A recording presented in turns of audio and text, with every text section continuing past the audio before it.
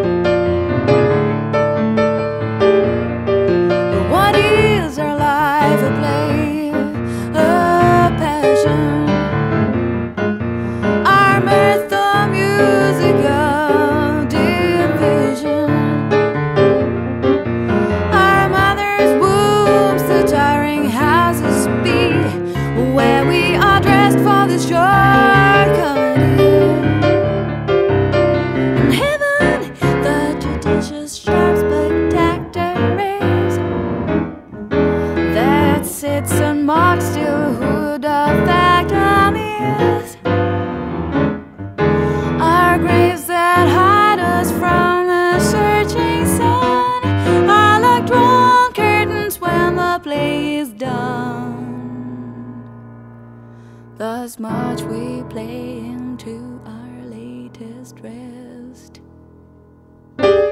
What is our life a play, a passion?